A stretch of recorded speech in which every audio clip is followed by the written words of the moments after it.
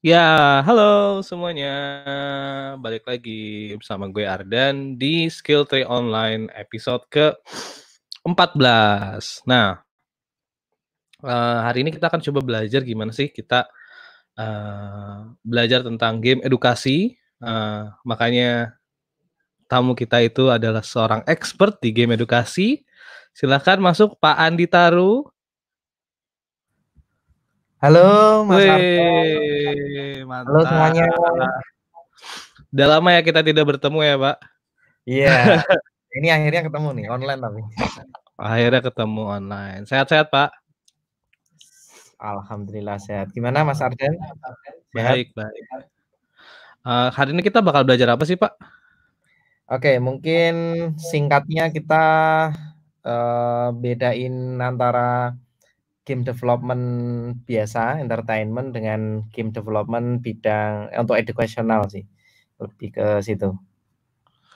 I see. Jadi kita uh, coba pelajari bedanya apa dan bagaimana mendesain yang lebih efisien Pak ya untuk game edukasi. Yap, yap.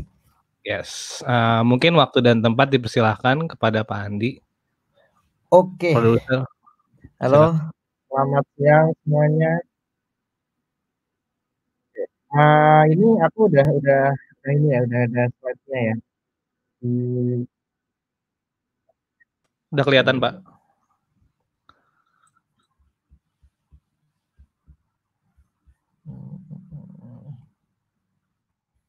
Oke ya. Oke, uh, selamat siang semuanya. Jadi perkenalkan nama saya Andi Taru dari Eduka Studio. Jadi kami lebih fokus di bidang game edukasi, lebih spesifiknya bidang game edukasi untuk anak umur 2 sampai 10 tahun. Mungkin sebelum saya membahas lebih detailnya, saya perlu sampaikan bahwa kita udah ada beberapa jenis produk game edukasi. Ya ini nah, saya promosi duluan nih di awal ini. Jadi yang pertama itu kita bikin game edukasi yang targetnya untuk pembelajaran kognitif. Jadi misalkan yang pokoknya yang edukatif banget lah. Ya, misal belajar huruf, angka, warna, basic gitu. Belajar banget dan basic. Nah, itu lini pertama kami. Nah, ini ini yang dicontohkan di layar ini marble huruf ya. Terus kami juga bikin game-game edukasi yang kontennya adalah konten muslim ada banyak. Nah, ini salah satunya ada Marble mengaji, jadi belajar ikro, belajar huruf hijaiyah, nanti ada gamesnya juga di dalamnya. Nah, kemudian kami juga melakukan eksplorasi budaya. Banyak ada misalkan yang di layar ini ada marble budaya Nusantara, kita eksplor berbagai macam uh, jenis rumah adat, pakaian adat dan lain sebagainya untuk uh, kita jadikan dalam bentuk games. Terus kami juga bikin misalkan Marble Hana Caraka itu juga ada. Nah, itu masuk di jenis game edukasi yang eksplorasi budaya. Kemudian ada juga yang bahasa, jadi ini Marble bahasa Inggris eh, sesuai targetnya untuk anak-anak untuk belajar bahasa Inggris bersama Marble. Nah, ini contohnya. Terus kemudian ada lagi yang Nah ini game edukasinya tapi lebih ke entertainment. Jadi ada learning point di dalamnya, cuman bobot untuk edukasinya lebih lebih sedikit dibandingkan yang di depan-depan tadi. Nah, ini contohnya ada marble penyelamat hewan. Nah, ini lebih uh, education value-nya lebih ke ngajarin gimana kita nyayangi hewan peliharaan. Gitu. Nah, jadi ada educational kontennya tetapi bobotnya lebih besar di entertainment. Nah, kemudian ada juga yang kami buat kategorinya adalah pelajaran. Jadi yang yang sama dengan pelajaran di sekolah. Ini contohnya ada Marble Geografi. Jadi konten edukasi belajar geografi kami konversi ke dalam bentuk game supaya lebih menyenangkan. Nah, seperti itu. Jadi karena kami memang fokusnya di umur 2 sampai 10 tahun, ya kami eksplor sebanyak mungkin yang di ranah umur itu. Mungkin kalau kita bicara game edukasi sangat luas ya. Bisa aja nanti ada yang di umuran remaja, bahkan mungkin sampai dewasa itu ada segmentasinya sendiri-sendiri. Nah, ini lagi kami juga bikin yang sifatnya ngelatih logika. Jadi berupa logic games itu juga ada. Seperti ini, ini masuknya ke matematika dan logika. Nah, kita masuk nih ke, ke bagian yang inti. Jadi game-game yang kami develop ini uh, apa sih yang jadi pegangan kami di Eduka Studio untuk membuat game yang seperti ini? Nah, sebelumnya mungkin saya review dulu mungkin di skill tree yang sebelum-sebelumnya udah udah pernah dibahas tentang game, game development life cycle. Nah, ini yang biasanya yang dipakai. Yang paling sederhana ada beberapa perbedaan tapi yang paling sederhana itu ada mulai dari pre-production, kemudian masuk ke production, kemudian masuk ke post production. Nah, pre-production ini kan ada konsep desain sama game design. Kemudian di production ini ada implementation itu bisa terdiri dari asset development, coding, dan lain sebagainya. Kemudian post production itu bisa berupa full testing sebelum ke deployment dan distribution atau publishing. Nah, ini yang biasanya dipakai secara basic di game development biasanya. Nah, kalau yang di pembuatan game edukasi itu ada sedikit perbedaan. Nah, kita bahas dulu lebih detail. Kalau di pre-production biasanya kita bikin game design dokumen sama prototype. Nah, di sini biasanya tugasnya di oleh game designer atau programmer sedikit gitu untuk bikin prototipenya. Jadi riset-riset lah di awal. Setelah itu setelah tervalidasi kita bisa masuk ke production. Nah, production ini misalkan di art, ada 2D art, 3D art, kemudian audio, terus kemudian coding ya, ada coding. Nah, kemudian untuk post production kita bisa full testing di sini.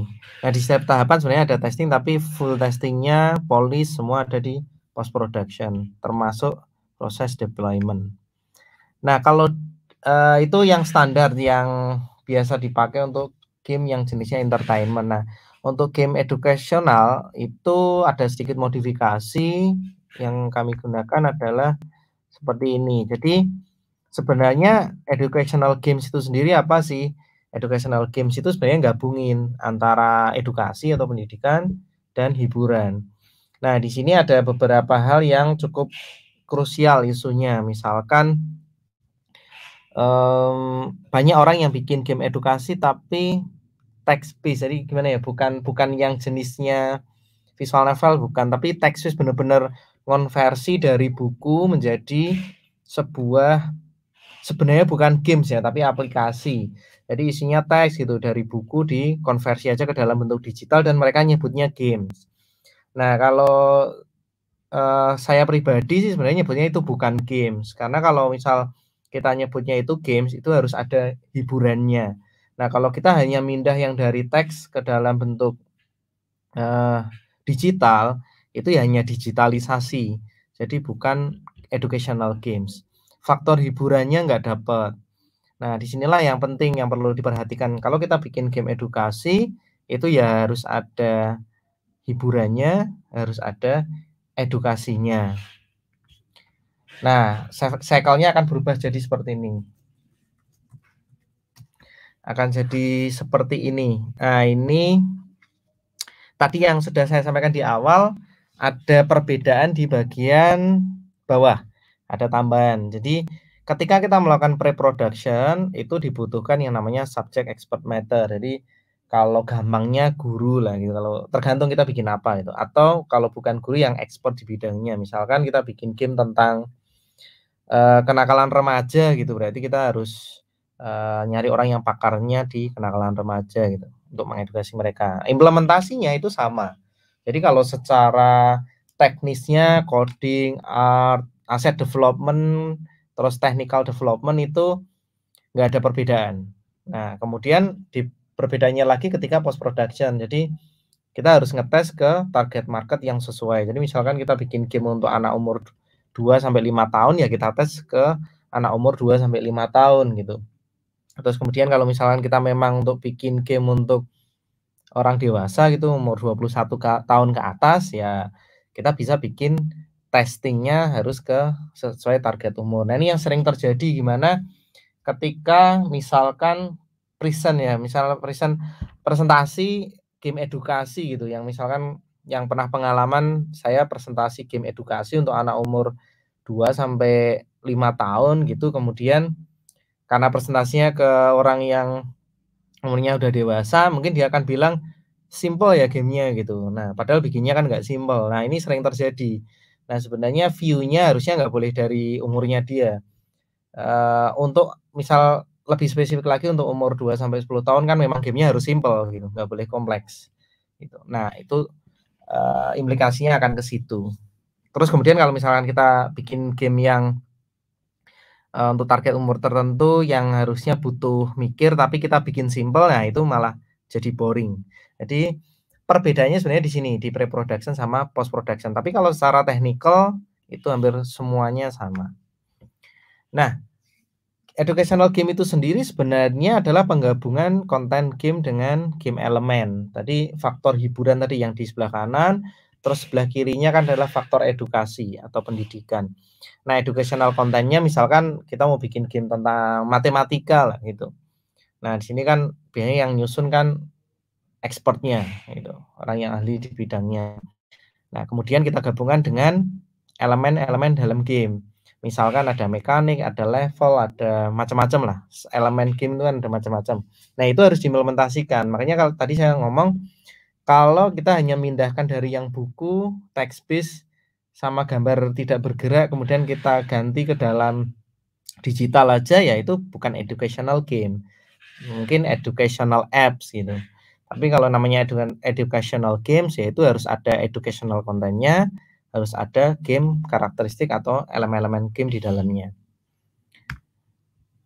Nah, untuk desainnya sekarang, educational games design itu di sini kita bisa bagi ya, ada dari game design, dari pedagogi, dari learning content. Nah, ini bisa kita breakdown di mana kalau dari sisi game design ya fun ini harus ada.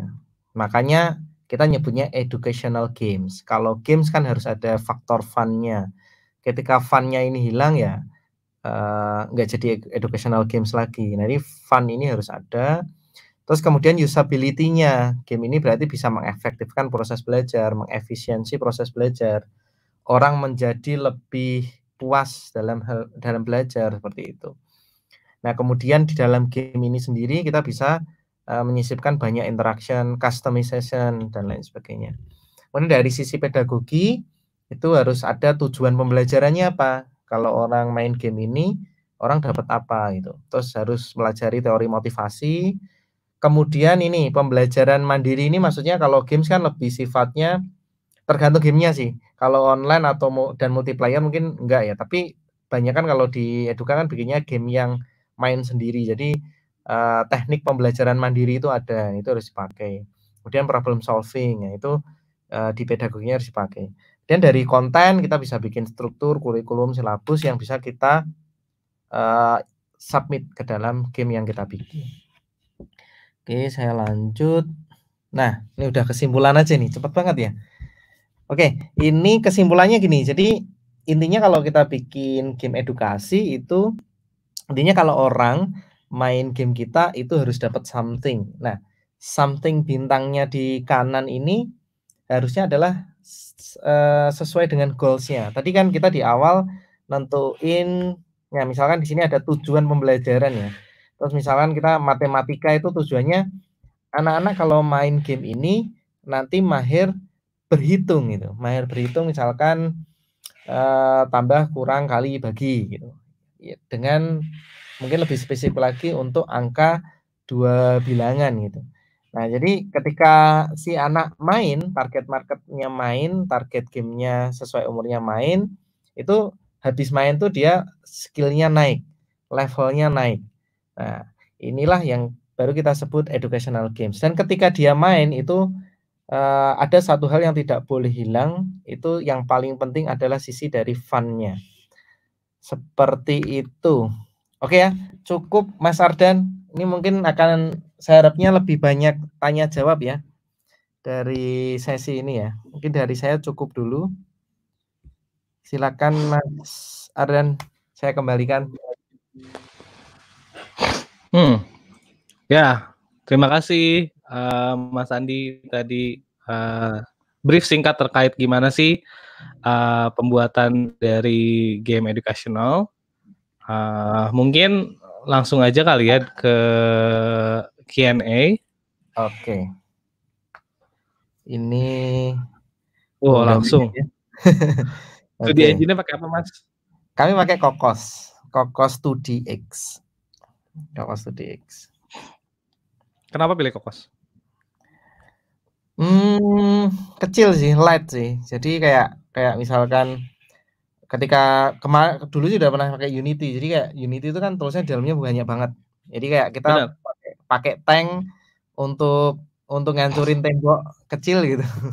Oh, iya. Nah, makanya kita pakai yang light. Tergantung dari scope-nya sebenarnya. Kalau kita bikin educational games-nya yang scope-nya gede ya ya pakai Unity akan lebih cocok. Itu aja. Pernah pakai game engine yang lain nggak? Yang 2D kayak Construct gitu? Bisa, bisa. Ya itu ukurannya masih LED, LED juga kan, arti LED juga kan. Nah kalau misalkan Benar. Kokos ini sendiri sebenarnya karena satu ada juga sih pertimbangan dia free gitu, free terus uh, open source juga. Gitu. Ada beberapa elemen yang bisa kita kembangkan sendiri. Nice. Aku juga sempat pakai, cuma ya hardcore lebih kan? enak Unity. Mau create new project aja pakai command line sih. Dan benar, itu benar-benar. Tapi kalau udah hearing apa ya, kalau udah biasa gitu ya makanya kokos emang itu cepet banget sih, jauh lebih cepat performancenya. Ya, ya, ya semua bisa dioptimasi sih sebenarnya. Bisa, ya. Ini bisa dioptimasi. Kan Intinya, mungkin lebih uh, ukuran juga ngaruh sih. Ukuran ngaruh. Banyak yang tidak diperlukan di Unity. uh, next question paling. Oke. Okay. Nah, sama. IP. Oke. Okay. IP. IP ini. IP ada banyak kan. IP ada ada merek, ada hak cipta. Nah. Yang paling utama hak merek sama hak cipta aja lah. Kan ada empat sebenarnya. Nah, hak merek itu namanya, hak cipta itu asetnya. Dia misal karakter, musik, Uh, biasanya kalau IP itu hak ciptanya paling penting ya ini ngomong paling penting dulu itu karakter biasanya. Nah karakter ini pendaftarannya gampang sekarang udah bisa online. Hak cipta udah bisa online. Nah kalau hak merek tuh namanya misalkan Marble. Nah ini kita daftarkannya ke Kemenkumham sih. Kayaknya kalau kayaknya kalau merek eh, nggak bisa online kayaknya. Kalau merek harus ngurus langsung. Tapi kalau yang hak cipta itu bisa online. Udah enak sekarang. Bisa uh, kayaknya hak hak merek juga bisa online, Mas. Wah, aku GDX kemarin aku udah nggak lama aku GDX kemarin aku GDX kemarin pakai online kok. Oh, ngurus merek. Nah, itu berarti enak kan di web di HKI ya kalau nggak salah ya. Betul. Nah, itu udah gampang banget sih. Kayak submit submit form, terus melengkapi dokumen, bayar, validasi udah udah jalan. Dan semuanya online sih. Maksudnya tinggal upload-upload nanti tiba-tiba tinggal lihat statusnya udah diterima atau belum nanti langsung. Nah, nah. dari hak milik, hak ah, hak milik, hak merek, hak uh, cipta nah. uh, itu kalau misalkan yang baru-baru nih teman-teman yang denger itu lebih lebih enakan diurus yang mana dulu ya? Sama pentingnya sih sebenarnya. Kalau harus keduanya sih menurut saya. Harus keduanya. Dan harus cari nama yang unik. Sekarang itu agak susah nyari nama. Kan udah banyak banget. Nah itu harus unik. Kayak misal penyebutan mirip itu aja agak susah nah itu harus harus benar-benar unik kayak IGDX gitu kan mungkin kan udah udah unik duluan ya hmm. udah gampang kan gitu nah itu teman-teman harus cari tapi kalau ditanya yang mana menurut saya kalau bisa keduanya duanya cuman kalau misal biaya gitu kan lebih mahal merek ya lebih Betul. murah hak cipta. Nah, itu ya yang bisa dulu. Pokoknya yang bisa dikerjakan dikerjakan dulu. Hak cipta bisa dikerjakan dikerjakan dulu. Nice, nice. Next question. Oke. Okay. Nah, ada nanya, kenapa milih range usia 2 sampai 10 tahun? Oke, okay. kenapa milih range itu karena memang uh, dari awal itu satu sih, satu orang tua saya guru SD. Ya, terus kemudian uh, di lingkup lingkungan saya waktu itu ketika pertama kali bikin marble itu circle saya adalah guru-guru TK PAUD semua sih, hampir banyak. Jadi kan banyak uh, anggota keluarga kan yang jadi guru. Nah, itu circle-nya di situ. Nah, dari dulu ketika mau apa ya yang paling mudah diakses kan, paling mudah diakses. Terus kemudian kita uji dan cocok. Artinya dari tim yang dimiliki ngerjain ya cocok sama market. Terus kemudian expertise di lingkungan juga tersedia seperti itu. Jadi lebih ke pertimbangan teknis sih memang. Pertimbangan teknis yang bisa kita garap. Mungkin kalau dulu teman-temanku lebih banyak dosen gitu. kita akan bikin game edukasi yang nyasarnya berbeda ya, mungkin untuk corporate gitu. Jadi itu awalnya ya. Tapi kan kalau kalau sekarang memang udah jalan di situ ya kita concern, fokus saja.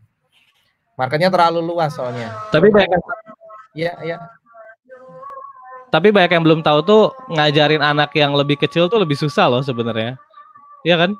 Oh iya. Maksudnya ya. untuk ya, untuk dia lebih simbol. Gede, gitu ya. Hmm. Challenge-nya lebih gede. Cuman kalau mau ngajar umur 2 sampai 40 tahun gitu susah. Iya, maksudnya kayak eh, anak-anak umur 2 sampai 10 tahun kan masih belajar tuh simbol itu apa. Sedangkan kan kalau anak 10 tahun sampai 20 tahun gitu misalkan kan kayak tinggal uh, tinggal ini aja kan langsung kayak misalkan dia udah tahu bahwa ini tuh ngapain itu tuh ngapain gitu. Maksud aku kayak iya iya. Setuju gak sih?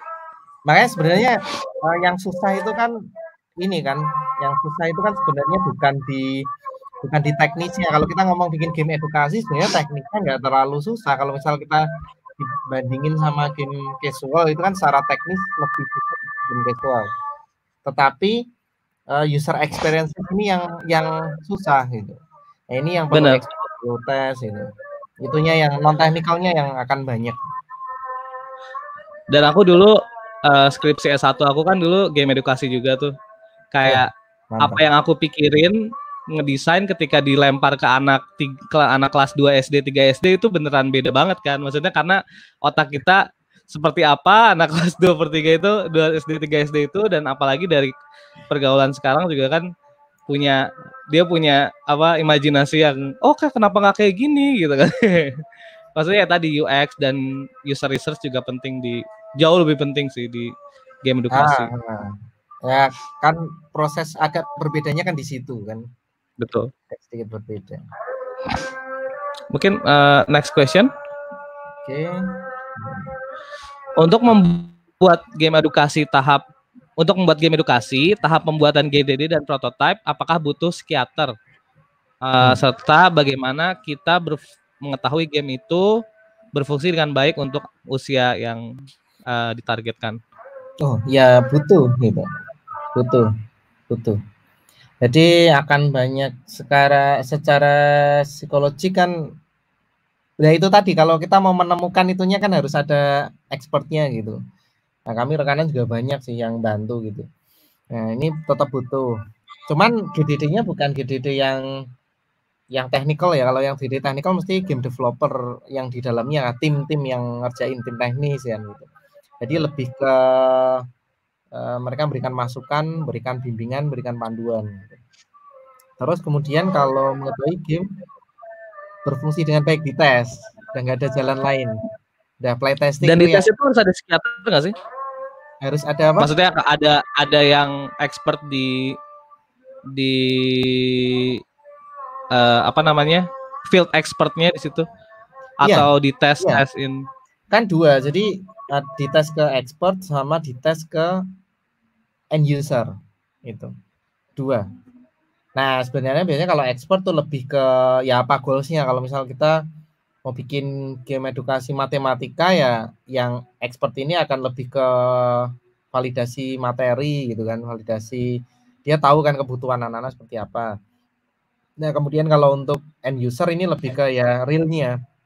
Real tanggapan user itu gimana gitu. Apakah benar-benar kita bikin sesuai dengan tujuan pembelajaran dia mencapai enggak gitu. Jadi ada goalsnya dan gitu. biasanya kalau kita dikontak buat aku nggak tahu ya aku pernah sama salah satu universitas di Indonesia hmm. uh, kayak ngebuat tentang pem, apa namanya pemadaman pemadam kebakaran gitu, edukasi pemadam kebakaran untuk kayak teenager. Memang kontennya sebenarnya ini kalau kalau service ya, misalnya kontennya biasanya udah ada dari mereka sih. Juga sih, biasanya gitu nggak tahu ya kalau misalkan tapi tapi dari kita juga harus tahu gimana cara kita menyampaikan informasi ke dalam layarnya, depends on kan too much information juga jadi uh, misalkan tadi yang uh, Mas Andi Taruh bilang kayak uh, baik kalau misalkan kebanyakan tulisan atau gimana itu kan gimana gimana dari kita sebagai game devnya memang uh, mengcreate informasi itu dan menampilkannya di layar dengan porsi yang tepat gitu gak sih? Setuju gak sih mas? Iya, iya. Uh, makanya umur tuh penting. Kayak misal kita nargetin umur yang teen itu kan udah bisa baca ya.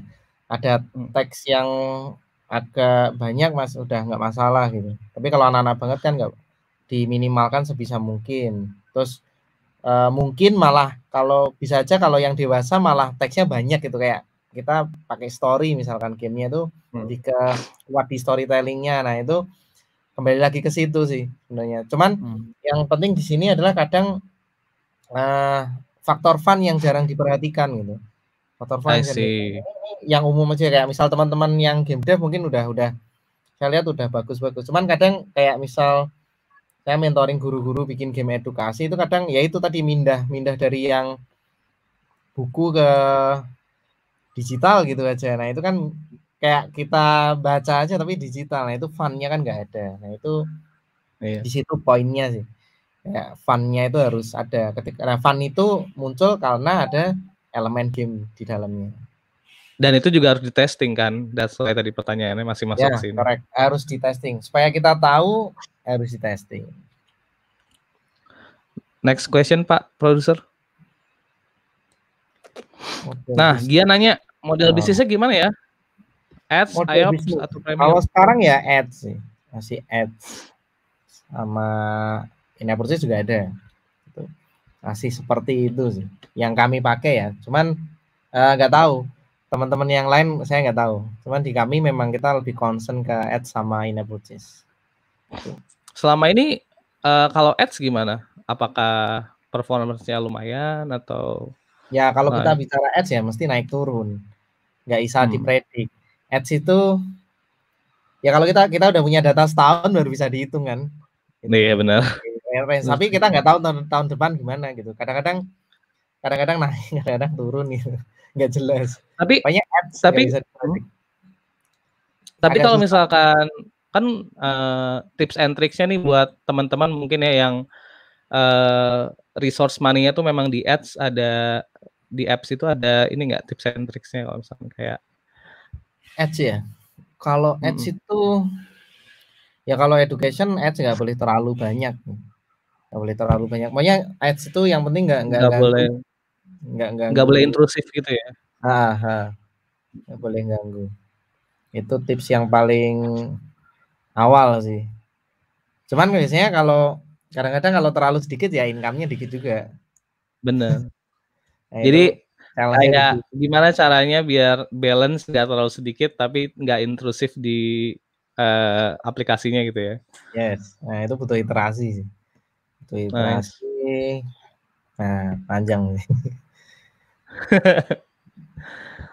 uh, paling itu aja. Uh, next question. Oke. Okay. Kesulitan. Wah, hmm, mari. Kesulitan dalam pengujian.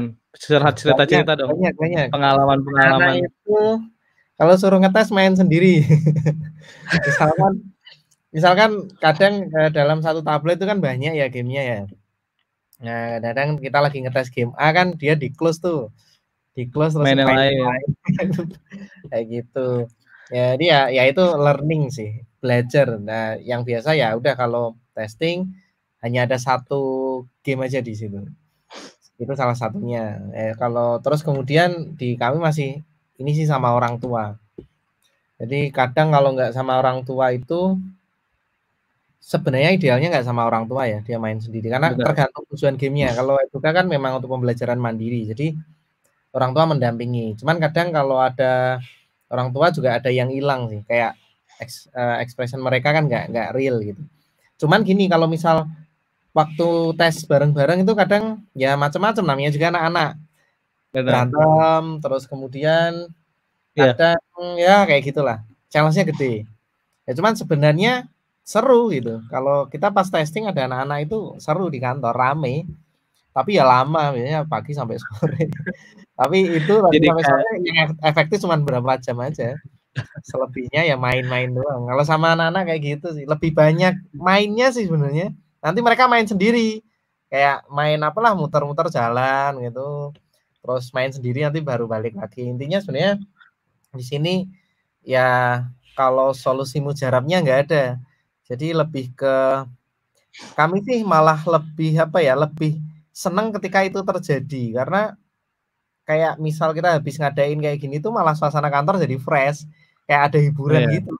Kantor jadi yeah. seru sama tim sama tim kan lihat gimana itu seru banget sebenarnya jadi kita jadi sekalian refreshing sebenarnya Cuman sama anak-anak itu sangat berbeda sangat berbeda iya dan dan kayak jadinya lebih lebih tahu insight terhadap konsumernya juga kan maksudnya kayak di anak iya. itu kayak hmm kayaknya uh, uh, behaviornya kayak gini gitu. Jadi nanti next uh, produknya udah lebih tahu tentang gimana uh, behavior si anaknya ya. jadi lebih baik kan. Ya, betul. Betul sekali. Mungkin next question. Buat game Kalau kita mau buat game edukasi, hmm. misal untuk SD, sedangkan kita masih SMA, gimana nentuin game yang fun buat anak SD karena funnya anak SD dan SMA beda. Hmm. Hmm. Ya sebenarnya nggak masalah kita masih SMA atau apa pun, tapi untuk validasi fun ini harus dites. Gitu. Nah, karena misalkan uh, mungkin karena tim kami udah udah eduka ini kan udah hampir 10 tahun ya. Hmm. Kita udah udah udah udah ada feelingnya kayak misal oh mekanik yang dipakai ini ya itu kan udah karena udah ada experiences. Nah kalau belum ya harus harus benar-benar dites gitu.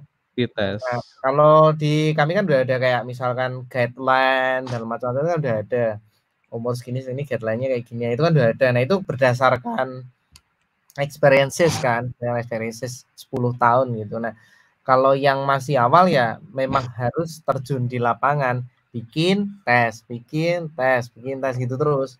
Sampai ya fun ini sendiri kan juga ukurannya susah ya funnya. Ya tergantung developernya funnya itu gimana? Apakah mungkin funnya bisa main berdua di satu tablet terus bisa ketawa bareng? Nah itu kembali lagi ke game developernya nah ini ditentukan terus udah mencapai atau belum? Kalau belum ya harus diiterasi gitu diperbaiki lagi. Ngomong-ngomong soal tes sebetulnya menarik sih. Kemarin sempat uh, beberapa uh, skill tree sih aku tanya kayak ada yang setuju mulainya dari friend and family dulu tapi hmm. ada juga yang ada yang agak menentang itu hmm, kalau kayak gitu ntar nanti jadi bias gitu ya kalau pendapatnya Mas Andi Taru ya. gimana? Kalau ya, ya. kita ngetes kalau kenal kalau kenal itu mesti ngomongnya bagus sih. Bagus semangat sukses ya Mas gitu. Oh, iya, ya, challenge-nya di situ. Ya biasa lah kalau ya kayak walaupun untuk anak-anak mungkin kita bisa juga minta pendapat temen gitu kan bisa aja kan gitu. Hmm. gimana. Ya, tapi biasanya kalau temen tuh teman apalagi temen yang deket setengah deket itu ya sudah ngomongnya keren. Waduh keren aja gitu semuanya makanya keren semangat. Ya. semangat mas nah, gitu ya. Padahal yang kita butuhkan kan kritik gitu kan. Kritik hmm. masukan yang membangun. Konstruktif lah kasarnya. Ya, konstruktif. Nah itu yang kadang nggak dapat. Benar sih saya setuju dengan itu malah ya kalau dulu eduka waktu bangun kita cuma berdua ya sama family itu udah pasti mau gimana lagi paling dekat. Tapi saya pikir kalau kita bisa dengan lingkup yang lebih luas itu akan lebih bagus tervalidasi. Jadi intinya untuk teman-teman yang mau buat game edukasional atau enggak gitu ya, kayak uh, maybe paling better sih memang uh, netral ya, nggak ada relationship sama sekali gitu, biar nggak jadi cognitive bias gitu. Tapi maksud aku uh, it's better buat dites di family and friends dibanding nggak dites sama sekali ya mas. Oh iya, benar. Wah kalau nggak dites ya udahlah. Ya udahlah. Semangat mas aja. Champion. ya benar sih, benar-benar setuju. Next question. Bahasa pemrograman. Halo, halo. Bahasa pemrograman. Bahasa pemrograman apa yang sering dipakai oh. untuk educational game? pakai apa aja bisa sebenarnya nggak ada tergantung sih kayak engine-nya. Ah tergantung engine-nya. Ya kalau kita bicara Unity pakai C Sharp kalau Cocos pakai C++ kalau Construct pakai JavaScript ya kalau nggak salah. Iya JavaScript. Uh, apa aja sih sebenarnya? Kalau bahasa pemrograman aku bisa bilang apa aja nggak masalah. Terus kalau engine pun ya banyak sih. Sebenarnya game yang sukses itu kalau dilihat ya pakai engine apa aja ada gitu yang game yang sukses. Jadi sebenarnya jangan uh, jangan misalkan saya ngomong pakai kokos, pakai C++ terus pakai kokos sama C++ juga gitu. Jangan Tapi ini menarik loh. Aku kemarin teman aku kalau nggak salah sempat bikin educational game pakai PowerPoint, Mas.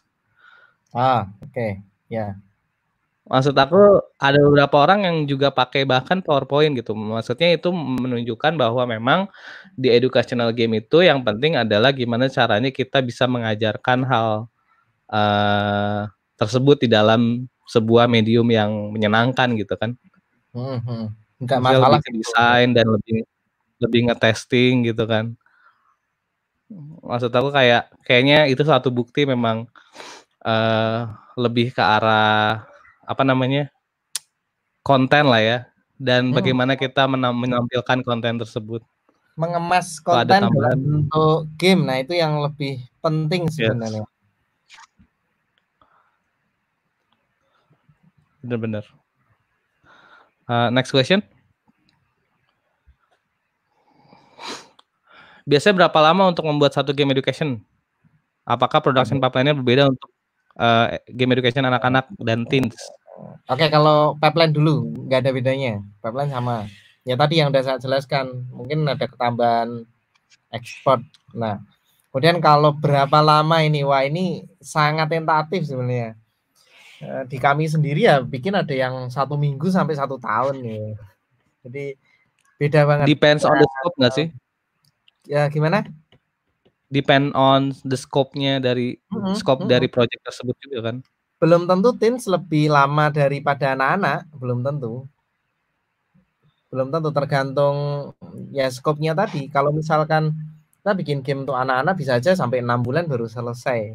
Nah, tergantung kan apa yang kita bikin, tergantung target tujuan pembelajarannya apa, terus skop umurnya berapa. Nah itu eh, sangat mempengaruhi berapa lama kita bikin. Terus kemudian kita mau polisnya sampai sejauh mana gitu. Mungkin gamenya udah selesai tapi kita mau polis sampai sejauh mana ini juga akan mempengaruhi uh, berapa lama game edukasi ini diproses.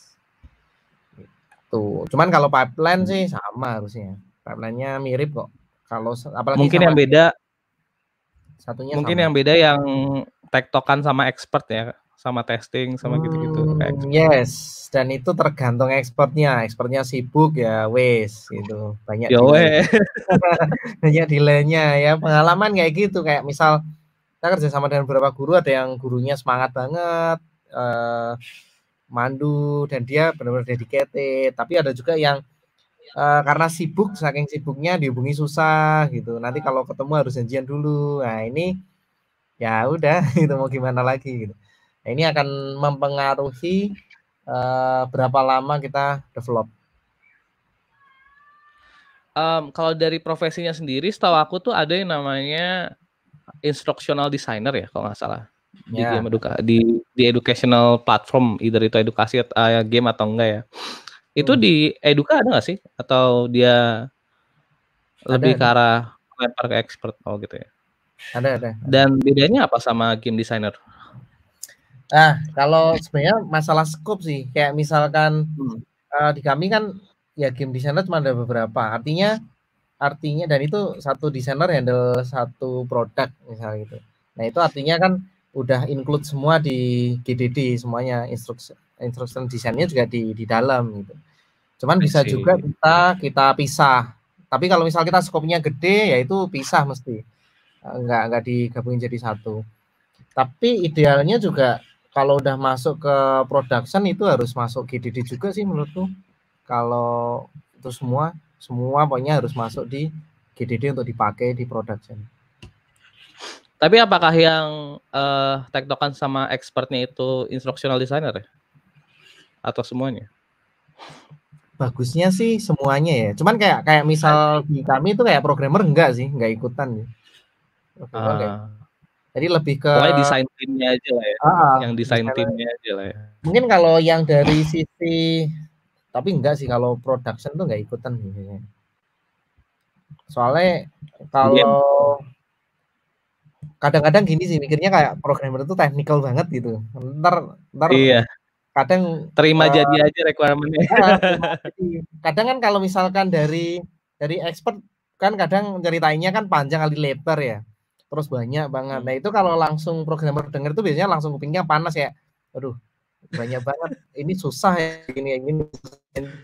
Harus ada game designer kan harus ini ya harus jembatani ya, jembatani harus Hmm. batasi skopnya dan, dan translasi requirementnya kan Iya, kadang kalau ngobrol sama expert tuh udah melebar ke mana-mana gitu.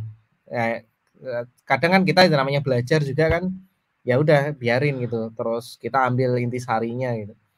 Uh, terus kemudian Beberapa... validasi desain juga bisa sih ke mereka. Betul betul. Dan aku juga pengalaman beberapa klien yang yang sempat aku apa ya namanya bareng sama aku gitu kayak tadi kalau misalkan kebayang kalau misalkan orangnya teknikal banget terus kayak oh enggak mas ini kita harus ditambahin dialognya harus ada suaranya semuanya gitu terus ya, makanya something something gitu kan makanya uh, Either kalau misalnya kadang, kita masih kecil sih nggak apa-apa sih ya kayak misal kita kira-kiranya satu artinya satu ya udah ikut semua aja gitu supaya semuanya tahu cuman kalau kita udah 10 orang lebih gitu udah udah udah serain eh, ini aja. Serain. ya. Makanya aku aku penasaran kalau kayak Eduka kan lumayan tuh. Itu ngebaginya gimana? Ternyata desain timnya aja yang ikut ke expert lah ya. Hmm. Yes. Oke, okay. next question. Wah, gila. Banyak ya. oh, bagaimana cara mendapatkan data yang valid dalam riset sebelum menentukan konsep desain game yang dibuat? Hmm. Misalkan ngajarin matematika gitu itu harus belajar matematika dulu nggak? Atau biologi? Atau iya, kimia gitu misalnya harus belajar dulu. Kalau enggak nggak tahu. Jadi harus oh, berarti... di kami ya kalau di kami itu harus belajar dulu harus tahu. Kayak misal kita mau bikin matematika kelas 1 sampai 3 SD misal.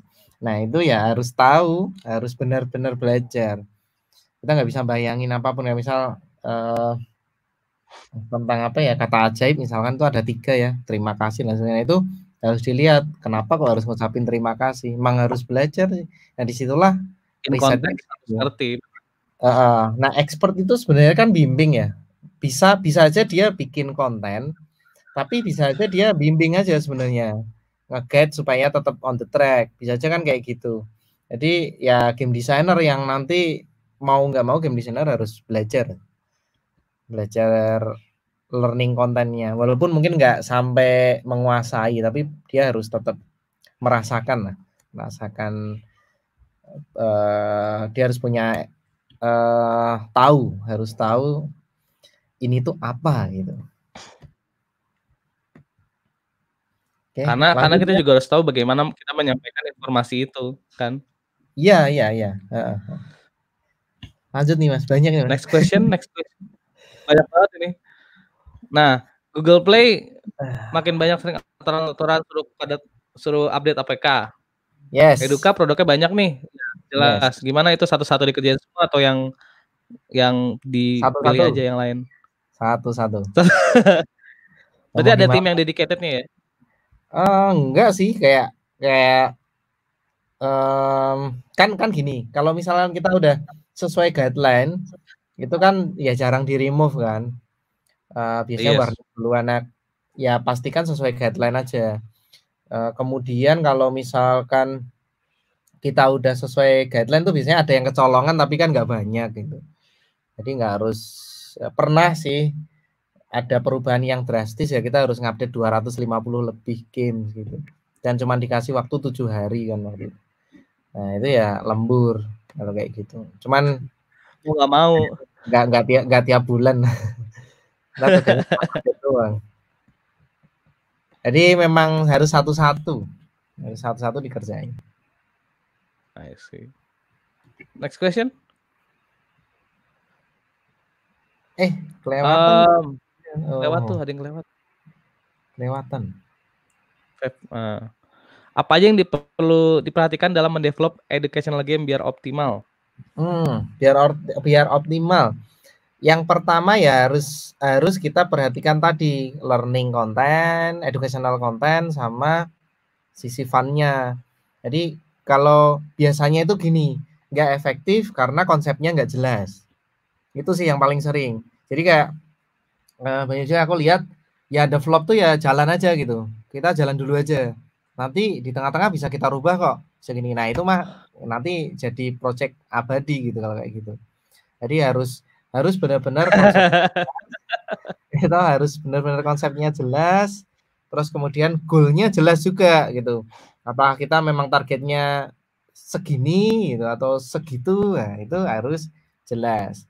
Soalnya game eh, education sendiri ini kan juga uh, layernya banyak ya.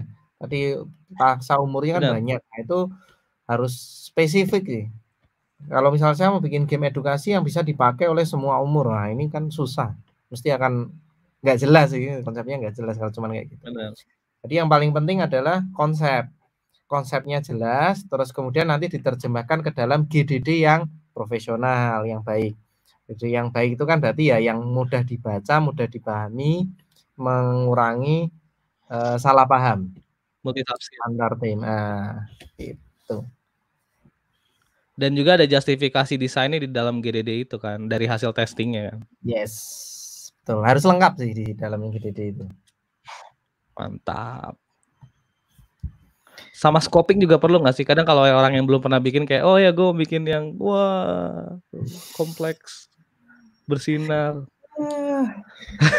ya main main sama bikin beda sih. Oke, income. Nah, game edukasi anak-anak. Iya benar. IP. Saat ini saya duka lebih gede dari iklan sih. Gak tahu yang lain ya. Gak tahu yang lain. Cuman kami memang paling gede dari iklan. Nah itu. Tapi pakai AdMob gak sih? Yap, gimana Mas Arden? Itu kan nanya pakai AdMob. Kalau nggak salah iklan di ads itu kan ada banyak kayak macam-macam. Ya, ada banyak, ada banyak.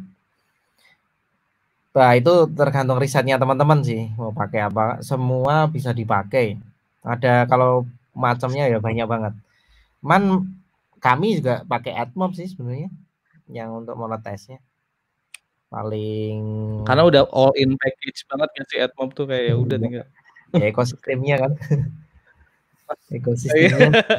Maksudnya jadi jadi maksudnya kayak uh, bisa fokus ke kontennya gitu kan. Maksudnya ya udah ads tinggal masuk. Ya betul. Tapi kalau Unity kan ada Unity ads gitu kan kalau nggak salah ya. Nah itu bisa dipakai juga. Itulah. Unity ads bisa dipakai juga. Nah, kalau mau gampang sebelumnya pakai Unity pakai Unity ads. Kalau mau gampang ya. Terus tinggal di klik nice bisa langsung dipanggil. Um, lanjut Oke. Oh, Big Daddy lagi lagi nih. Uh, nah, kalau... Oh, belum lengkap tadi. Oke, yang kalau... diutamakan ini tergantung kita desain bisnisnya gimana ya. Kalau misalkan memang kita bikin uh, premium, mungkin spesifik in-app purchase, ads itu kan bisa digabung ya. Jadi kayak misal ada ads, terus kalau mau ngilangin ads bisa in-app purchase. Terus kalau misal nggak tahu ini sebutnya kalau aku lihat premium langsung paid itu tergantung target marketnya. Kalau di Indonesia sih susah. Kalau misal kita susah langsung premium itu tergantung target marketnya juga di umur berapa. Nah kalau misalkan untuk anak-anak itu kan memang orang tua ya memang yang kita edukasi orang tuanya.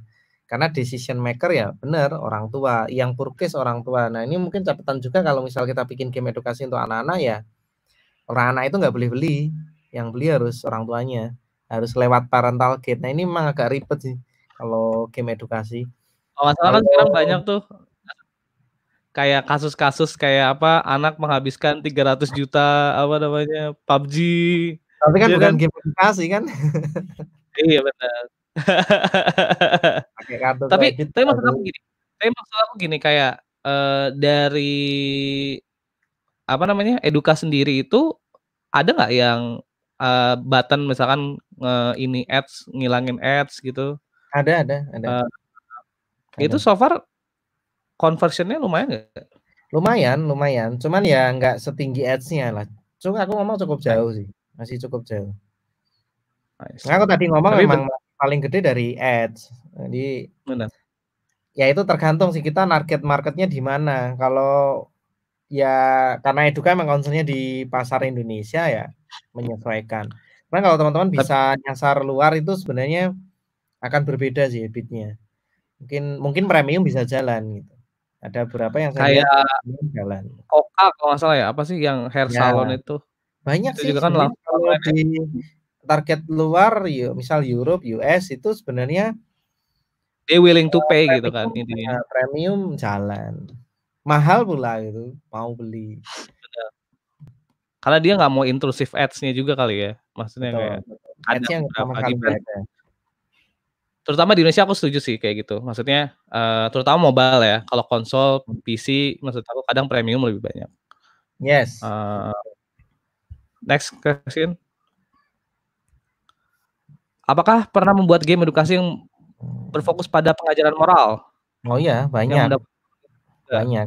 Kita bikin banyak. Ada yang misalkan ngajari apa ya? Lupa. Banyak sih kayak misal aman di rumah itu supaya hati-hati terus berkendara aman itu ya ngajari pakai helm dan lain sebagainya terus apa ya tadi kata ajaib jadi hmm. kalau lewat di orang tua harus permisi minta tolong, ngambilin barang. Nah, itu jadi sopan santun lah ya kasar. Dari sopan santun. Banyak sih Eduka udah udah udah cukup banyak sih produk yang ke sana. Tapi challenge-nya gimana sih kalau gitu expertnya gimana? Kayak berarti dari psikolog gitu-gitu ya atau gimana? Yes. Ya challenge-nya lebih susah sih sebenarnya bikin kayak gitu. Iya kan? Mengemas itu jadi fun itu agak susah sih memang, tapi bisa. Cuman prosesnya agak Agak panjang. Lebih kompleks ya? Yap. Next, next question. Big Dade nanya lagi, bagaimana strategi posisi yang pas untuk ads? Ads apa yang paling cocok untuk edukasi? Misalkan eh, menjebak agar klik iklan tidak masalah dalam apps. Ya kalau menjebak misalkan kita mau klik button, terus tiba-tiba nggak boleh klik button tiba Udah nggak boleh sekarang ya? Nggak boleh. Kalau anak-anak itu eh, nggak boleh tiba-tiba juga nggak boleh. Terus agak di grey misalkan, oh mirip mirip konten tuh udah nggak boleh. Jadi emang, nah itu resikonya di remove sih dari Play Store. Repot itu ntar. Kalau udah di remove. Tapi kalau nggak tahu ya, aku nggak pernah, aku jarang sih kalau edukasi. Cuma saya di luar dari edukasi kayak banyak iklan yang integrate sama mekanik gamenya gitu. Misalnya kayak kalau ngeklik iklan ini dapat sekian gitu. Itu ya itu kalau bukan anak-anak boleh. I see. Masalah. Dan itu bisa kita jadikan untuk memaksimalkan revenue kan.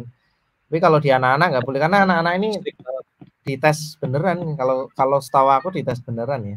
Karena dia tahu. Berarti berarti dari proses upload APK sampai rilis itu berarti lumayan panjang ya untuk anak-anak.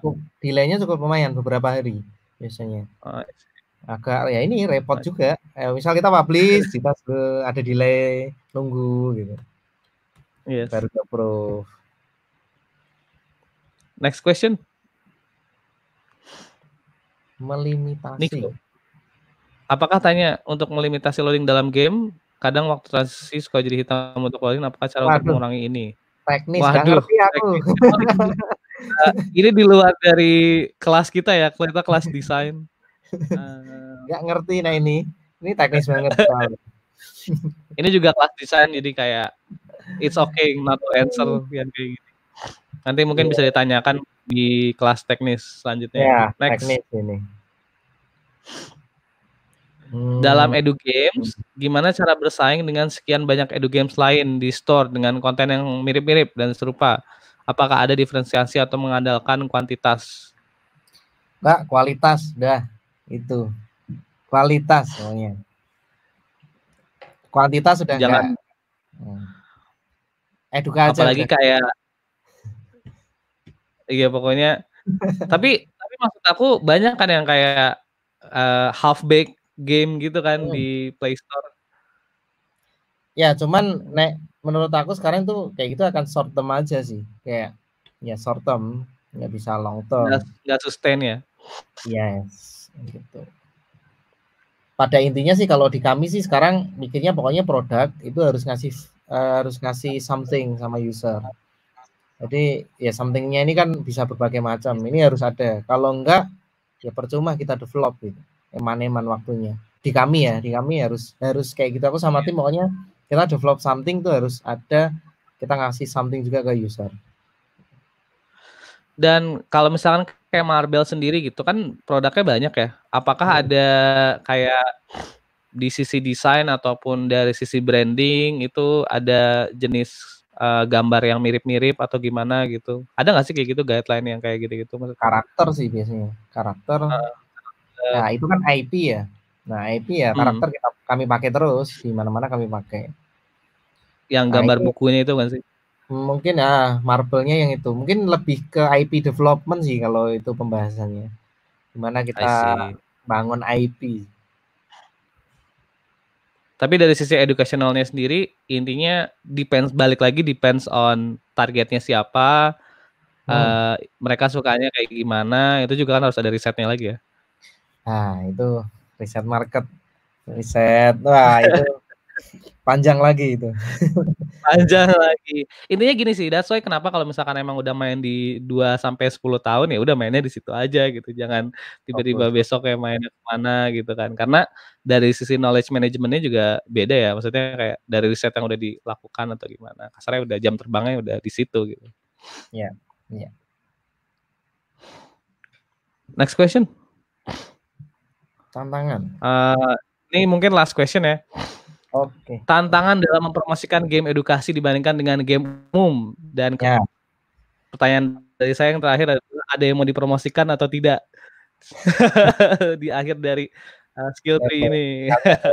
Oke, okay, kalau game edukasi karena challenge-nya uh, gini, kalau untuk anak-anak mungkin karena targetnya orang tua. Jadi cara kita promosi beda. Tapi kalau misal kita bicara game edukasi secara umum, itu adalah bagaimana kita e, menampilkan ini tuh bukan hiburan aja. Nah, itu yang susah karena kan game ini kan konotasinya masih tetap aja game itu hiburan gitu. Game ini masih hiburan.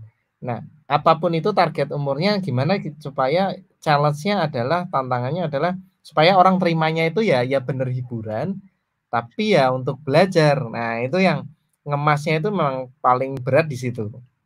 Itu Mas Arden. Dan kayak game literasi di Indonesia tuh game literasi di Indonesia tuh uh, maksudnya masyarakat umum udah banyak yang tahu belum sih bahwa game itu nggak cuma buat senang-senang ya, doang gitu. Better sih dibanding 10 tahun yang lalu itu waduh. 10 tahun yang lalu ketika ngomong ini loh game edukasi, oh game enggak. judi iya. ya gitu. Banget. Bikin apa? Bikin game edukasi. Oh, warnet gitu. Nah, warnet. Terus, tahun yang lalu kayak gitu. Kayak gitu apa? Bikin game edukasi. Oh, ini ya warnet ya. Waduh. Gitu. Warnet ya di gerbek polisi. Ya. Jadi uh, ya, tapi kalau sekarang udah udah inilah, udah bagus lah. Udah better lah ya. Better. Nice, nice.